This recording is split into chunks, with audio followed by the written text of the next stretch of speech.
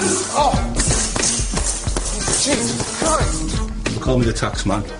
You have to be hard to live here. It was alleged I robbed him, took £50,000 worth of heroin off him, had over a thousand fights and won every man I've ever fought, so you fight to the death and that's it. Just awesome genetics, isn't it? Basically, I'm the law in this area. Picked him up and I ran at him and threw him into this door and the oh, door fucking smashed his head into there and he fell back and I headbutted him, I threw him again into the door really hard. Brian Cockerill is one of Britain's most notorious gangsters, a self-proclaimed justice system of the underworld. In his world, only the strong survive, and every could be his last.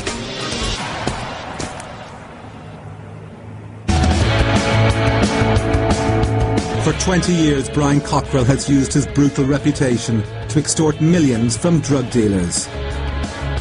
He sees it as a tax, a levy they have to pay to allow them to operate in his area. For people who don't know what taxing is, it's uh, drug dealers sell drugs on the streets, and when they sell the drugs and get the profits, the money, I usually go and take the money off them. Obviously, they can't go to the police and say, well, Brian Cockerill's just been round and took vast amounts of money off and vast amounts of drugs because obviously it's illegal to sell drugs, and so if they're trying to convict me, they convict themselves. Despite the risks, and at 42, Cockerill remains on top of his game. His lifestyle requires him to be brutal and intimidating. He commands fear as he marshals the underworld in his patch. Most people have tried to emulate me. They're either dead or they're doing life sentences. And to do it, it probably is the hardest job in the world. These days, taxing drug dealers is not what it used to be. The dealers don't have as much cash because competition has hit their profits. The taxman's returns are not quite as lucrative. I remember one day we went out and we made 15 grand in about five hours. This was 20 years ago. You know, massive amount of money. Years ago, when you used to tax them, there'd only be half a dozen in each town, so you could hit them and they'd have the drugs in the house. They'd have the money in the house. And uh, you'd kick the door and run in, you'd get drugs money and you make a fortune. Cockerill calls himself the Taxman. The reality is that he uses his great strength to muscle in on criminals and their ill-gotten gains.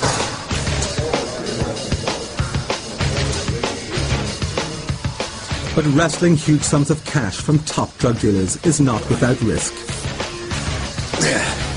To keep one step ahead of his enemies, Cockerill trains three times a day. He is a 22-stone steroid-filled fighting machine who claims never to have lost a fight. Like, say I was fighting you on the street, I'd catch you right uppercut there. I'd come in, come on, fucking throw your shot. So I'm coming in there, you know. So if I couldn't catch you with that, I'd come in and grab you by the throat, pull me out, and pull, see your eye, yeah, pull your eye there. So as you're going out, pull your eye out. And as And I'm if I pull your ear, I pull, pull your knee and pull bite your ear off. So your ear's coming off and you're screaming. I mean, it's like if I grabbed you in a headlock, just like that. There's no way you're getting out of that, is there? You know. No. And if I crushed you, like, the, sorry. I pulled his eye out within about three seconds, he was fucked. But when you pull an eye out, it dangles like on a socket, it's like on a, like a string. I thought this lad and I bit his ear and his nose off. But I was feeling very generous that day and I given him back. I was a bit like fucking Hannibal Lecter, I suppose. What did he look like afterwards? What, It looked like Hannibal Lecter had got hold of him. It's been alleged in the past that I've been, well, I've been charged with these things. It's not just alleged, I've been charged with uh, murder charges, um, attempted murder on two police, 30 or 40 Section 18 wounding with intent. That's punching someone with hand, but a wounding with intent, Section 18 usually you've got to use a, a weapon, but the class my hands as uh, deadly weapons anyway, the police. I've been uh, arrested for um, racketeering, blackmail, kidnapping, firearms, drug dealing, um, taxing, um, shootings, supposed to have had people shot, um, people murdered, I'm supposed to have had people taken away and killed.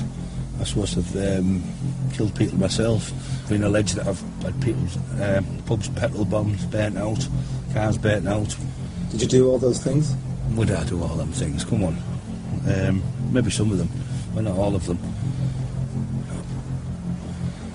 Despite being questioned thousands of times and hundreds of arrests, Cockerill's only convictions are for dangerous driving, criminal damage, and threatening behaviour. what does he look like to you when he's fighting? He changes totally. absolutely totally just goes blank. There's no expression or anything on his face. His eyes go black, and then you just turn it off like that, and he's back to normal. Amanda, Brian's partner, has seen it all. Her loyalty to Brian has been unflinching, despite constant fears of revenge and reprisals to the family. But it isn't as easy as you think. It sounds easy, but it isn't. You're trying to think about going up to some man and saying, I want your money and I want your car and I want whatever. It isn't as easy as you think. If it was easy, they'd all be done, wouldn't they?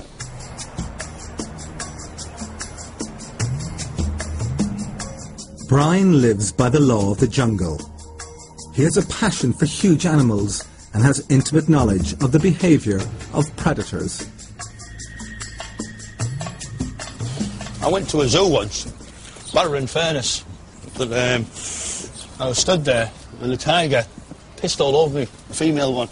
We looked at it, must be the hormone, you know, you test, also it must smell it. It's just a sign of whatever you, you'll find out when you go and do the tigers. But stood there, so a big ginger pussy pissed all over me. alleged that I've taken people away and played the piggy game on them. And people say, what's the piggy game like? Well, I've took their shoes and socks off and broken each toe with a hammer until they've told me where the, the money is or if they, they move out of town and stop torturing people. But none of these little pigs got bread and butter. They all went wee, wee, wee all the way on, but uh, they all were screaming. But uh, you never get past two. Now the taxman is planning to take his unconventional style into politics. He's decided to fight for election as mayor. He believes that he can use his powers of persuasion and that voters will see sense and back him.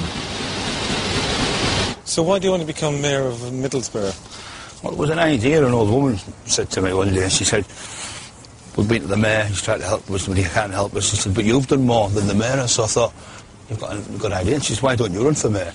And the other people next door but one said to me, we, um, we can't fucking sell our house because the dealers are there. So I've kicked the door in, ran in, grabbed them, threatened them, got rid of them, and uh, chased them up the town.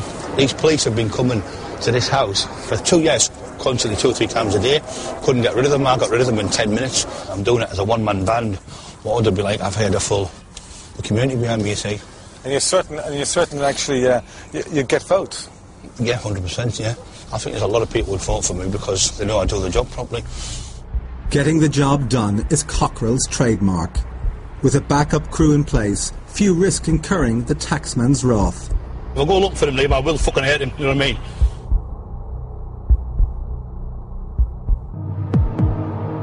mean? Drug dealers face many dangers. Top of the list is the taxman, Brian Cockerill. a one-man fighting machine. Over the years, the taxman claims he's made millions from local dealers. And if backup is needed, the taxman's loyal crew can be very persuasive. Meet Rob, Lee, and Vulture. Well-respected man. Yeah, but he can be a monster if he wants to be. He's not a nice person if you're on the wrong side of him. But he is a gentleman.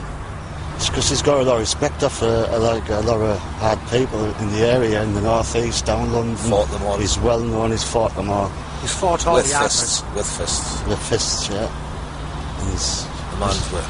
he's a dangerous man. And he's Dangerous feared.